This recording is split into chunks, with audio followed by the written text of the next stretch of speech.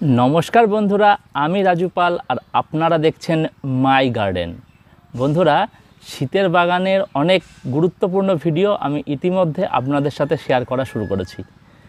সেখানে আমি দেখাচ্ছি কীভাবে আমি আমার বাগানে শীতের গাছগুলো প্রস্তুত করছি আর আপনারাও আপনাদের শীতের বাগানটা জমিয়ে তোলার জন্য ইতিমধ্যে অনেক পরিশ্রম শুরু করেছেন।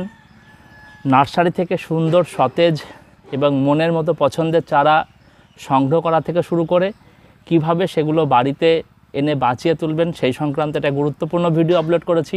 তার লিঙ্ক এই ভিডিওর ডেসক্রিপশন বক্সে দিয়ে দিয়েছি। আর সেই চারাগুলোকে কীভাবে আমরা ফাইনাল পটে রিপোর্টিং করব, সেই সংক্রান্ত অনেক বিষয় নিয়ে আলোচনা করেছি। আজকের এই ভিডিওতে আরেকটি গুরুত্বপূর্ণ বিষয় নিয়ে আলোচনা করব যে বিভিন্ন চারার জন্য টব নির্বাচন। অর্থাৎ আমরা শীতকালের বাগানে শীতকালের বাগানে তো বিভিন্ন ধরনের প্রচুর পরিমাণে ফুল পাওয়া যায়।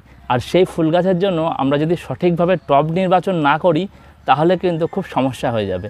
বিশেষ করে যারা নতুন বাগান করছেন, নতুন বাগানি বন্ধুরা রয়েছেন বা অনেক পুরনো বাগানি বন্ধুরা রয়েছেন মানে বিষয়টা হচ্ছে কি যে আমার মানে গত বছর আমাদের বাগানে যত ধরনের শীতের ফুল থাকে, আমরা প্রত্যেকেই চেষ্টা করি পরবর্তী বছরগুলোতে তার ভ্যারাইটি বাড়ানো। হয়তো এরকম হয় যে অনেক সময় ভ্যারাইটি বাড়াতে গিয়ে সেই গাছটি সম্পর্কে আমাদের ধারণা কম থাকে বা সেই গাছটির জন্য সঠিক পট যদি আমরা দিতে না পারি, তাহলে কিন্তু একটা সমস্যা তৈরি হয়ে যায়। কারণ গাছগুলো লাগানোর পরে যখন সেই গাছে ফুল ফোটে, টবের সাথে যদি সেটা মানানসই না হয়, তাহলে কিন্তু ভীষণ একটা সমস্যা হয়। তাই আজকের আমরা ভিডিওতে মূলত সেই বিষয়টা নিয়ে আলোচনা করব। আলোচনার শুরুতেই যে আমরা যে বিষয়টা দেখে নেব যে শীতের গাছগুলোকে আমরা মূলত তিনটি ভাগে ভাগ করব। একটি গাছ যেটা একটু লম্বা হয়, যেমন ডালিয়ার মতো গাছ। নিশ্চয়ই ডালিয়া গাছটা প্রত্যেকে চেনেন, ডালিয়া ফুলও প্রত্যেকে জানেন, যে সেটা মোটামুটি চার ফুট, পাঁচ ফুট, ছ ফুট পর্যন্ত তার উচ্চতা হয় গাছ অনুসারে। হলিহক বলে একটা গাছ আছে। আমি যে ফুলগুলো বলছি, সেগুলোর ছবি পাশ দিয়ে দিয়ে দিচ্ছি, যে হলিহক যে গাছটা আছে, সেই ধরনের যে গাছগুলো একটু উচ্চতা হয়, সেটা, সেই গাছগুলোকে আমরা প্রথম ভাগে ভাগ করছি। দ্বিতীয় যে ভাগটি সেটা হচ্ছে এমন কিছু গাছ আছে যেটা একটু ছোট সাইজের হয়, যেমন অ্যাস্টার আর তৃতীয় যে গাছগুলোর কথা বলব সেটা হচ্ছে একটু বুশি টাইপের খুব ছোট ছোট হাইট কিন্তু বুশি হয়। অর্থাৎ আমরা শীতের গাছগুলোকে মূলত তিনটি ভাগে ভাগ করব। এবার এই তিনটি গাছের জন্য আমরা যদি গাছগুলোকে ঠিকঠাকভাবে সঠিকভাবে ভাগ করে নিতে পারি, তাহলে কিন্তু টব নির্বাচনটা একদম ইজি হয়ে যায়। এইবার আসব, দেখুন আমার সামনে বিভিন্ন সাইজের অনেকগুলো টব নেওয়া হয়েছে। আমরা মূলত একটা টবকে দুই ইঞ্চি, তিন ইঞ্চি, চার ইঞ্চি, ছয় ইঞ্চি এরকম ইঞ্চি ভাগে ভাগ করি। এখন এইটা কিন্তু এই এই ইঞ্চিটা সম্পর্কেও অনেকের স্বচ্ছ ধারণা থাকে না।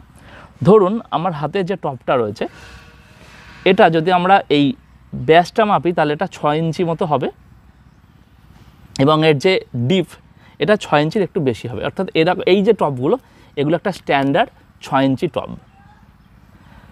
এইভাবেই আমরা আট ইঞ্চি, দশ ইঞ্চি, বারো ইঞ্চি করে ভাগ করতে পারি। আবার কিছু কিছু টব আছে, যে টবগুলো উপরটা হয়তো আট ইঞ্চি হচ্ছে, কিন্তু নিচের দিকে সরু হয়ে চলে আসছে।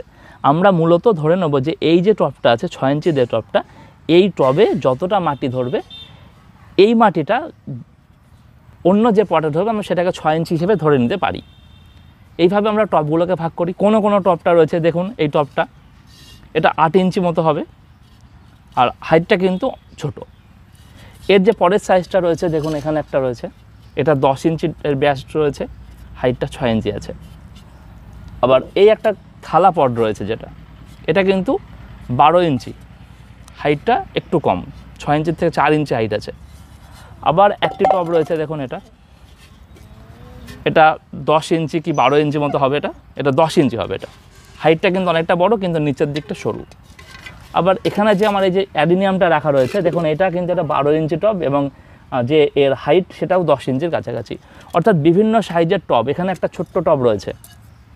এটা কিন্তু উপরটা চার ইঞ্চি হাইটটা কিন্তু নিচেরটা একটু সরু রয়েছে। আবার এখানে একটা সুন্দর একটা টব রয়েছে, ডেকোর, ডিজাইন করা একটা টব রয়েছে। এবং এটা হ্যাঙ্গিং করার জন্য এখানে ছিদ্রও করা রয়েছে। অর্থাৎ আমরা এখানে বিভিন্ন সাইজের টব নিয়েছি। এইবার মূলত আমরা ডালিয়া গাছের জন্য দশ থেকে বারো ইঞ্চি টব নির্বাচন করব। আট ইঞ্চি টবেও করা যায়, তবে আমরা দশ বা বারো ইঞ্চি টব এই ধরনের টবগুলো নির্বাচন করব। তবে এই ধরনের টবের ক্ষেত্রে একটা সমস্যা যেটা হয়, গাছগুলো যদি একটু বড় হয়ে যায়, এটা তো নিচেটা খুব ছোট হওয়ার জন্য একটু হাওয়া হলেই টবটা উল্টে যাওয়ার সম্ভাবনা থাকে, গাছ আর ক্ষতি হয় এবং টব ভেঙে যায় এবছর আমফান ঝড়ে আমার একটা অপরাজিতা ফুলের টব এভাবে ভেঙেছে। এই জন্য কিন্তু এই এই টবটা যদি না নিয়ে যদি আমরা এই ধরনের টব নির্বাচন করতে পারি, জানি না দেখা যাচ্ছে কিনা, এই ধরনের টব যদি নির্বাচন করতে পারি, সেক্ষেত্রে কিন্তু এই টবটা উল্টে যাওয়ার সম্ভাবনা খুব কম থাকবে। আমরা দশ বা বারো ইঞ্চি টব ডালিয়া ফুলের জন্য যথেষ্ট। ডালিয়া ফুল বা ওই জাতীয় যে ফুলগুলো রয়েছে। এখানে দেখুন, এই যে ছয় ইঞ্চি টবটা রয়েছে এই ছয় ইঞ্চি টবে আমরা অ্যাস্টার, ক্যালেন্ডুলা, আমি যে ফুলগুলো বলছি ছবিগুলো এখানে দিয়ে দিচ্ছি। অ্যাস্টার, ক্যালেন্ডুলা, গ্যাজানিয়া, ভারভেনা, তারপর হচ্ছে ইনকা গাঁদা বা ইনকা গাঁদা সহ অন্যান্য যে সমস্ত ফরাসি গাঁদা রয়েছে। এছাড়াও ডায়ানথাস সহ যে শীতকালীন যে ফুলগুলো মোটামুটি রয়েছে, এই ফুলগুলো আমরা এখানে যেমন একটা পপি গাছ লাগানো রয়েছে কার্নেশন, এই গাছগুলোকে আমরা এই ছয় ইঞ্চি বা আট ইঞ্চি টবে নিতে পারি। দেখুন, আমি প্রত্যেকটি গাছের জন্য দুটো করে টব বলছি। একটা হচ্ছে ছয় ইঞ্চি অথবা আট ইঞ্চি, ডালের ক্ষেত্রে বললাম দশ ইঞ্চি বা বারো ইঞ্চি। আপনারা যে কোনো সাইজটা নেবেন, কোনো সমস্যা হবে না। আর যে গাছগুলো, যেমন প্যানজি প্যানজি গাছটা কিন্তু ছোট্ট গাছ হয় এবং খুব সুন্দর ফুল ফোটে। প্যানজি গাছের জন্য আপনার, আপনারা যে কোনো ধরনের টব নির্বাচন করতে পারেন এই ধরনের যে টবগুলো রয়েছে, চার ইঞ্চি পট বা এখানে যে ডেকোরেট করা যে টবটি রয়েছে, এই ধরনের গাছগুলো প্যানজি গাছের জন্য আদর্শ। আর যদি আপনারা এরকম এরকম বড় টব নির্বাচন করেন, সেক্ষেত্রে একটা টবের মধ্যে তিনটি বা চারটি গাছ দিয়ে দেবেন। এইবার শীতের বাগানের খুব গুরুত্বপূর্ণ কতগুলো সুন্দর সুন্দর ফুল আছে। যেমন জেরেনিয়াম সিনেরেরিয়া পিটুনিয়া ইম্পেশিয়েন্ট এই ধরনের যে গাছগুলো যে গাছগুলো একটু হাইট খুব ছোট কিন্তু অনেকটা বুশি যেমন অ্যান্টেরিনাম এই গাছটি কিন্তু আমরা, এই গাছগুলোর জন্য আমরা কি ধরনের টব নির্বাচন করব। নিশ্চয়ই জানেন যে এই গাছগুলো একটু ছড়িয়ে যায় এবং অনেকটা এর যে অনেকটা জায়গা নিয়ে হয়। তাই এর জন্য আমরা এমন একটা টব নির্বাচন করব যেটার হাইট হবে কম কিন্তু উপরের অংশটা হবে বড়। যে গাছগুলো বললাম সেই গাছগুলোর জন্য একটা আদর্শ টব হচ্ছে এই যে এই টবটি যেটা দেখাচ্ছি। এর হাইটটা কিন্তু আছে ছয় ইঞ্চির কাছাকাছি, ছয় ইঞ্চির থেকে একটু কম আছে, আর চার থেকে পাঁচ ইঞ্চি আছে, আর উপরটা আছে দশ ইঞ্চি। এই যে টবটি, এইটা হচ্ছে এই যে গাছগুলোর কথা বললাম, সেটার জন্য আদর্শ টব। আবার এই যে একটা গাছ রয়েছে, আমরা যদি এখানে পিটুনিয়া লাগাই, যে বিষয়টা হবে সেটা হয়তো পিটুনিয়া গাছটা যদি এখানে এর মধ্যে লাগাই তাহলে টপ থেকে বেরোতে অনেকটা পরিশ্রম আমাদের করতে হবে। আর এই গাছগুলোর জন্য যদি টপ দেখা যায় সেক্ষেত্রে অতটা ভালো লাগে না।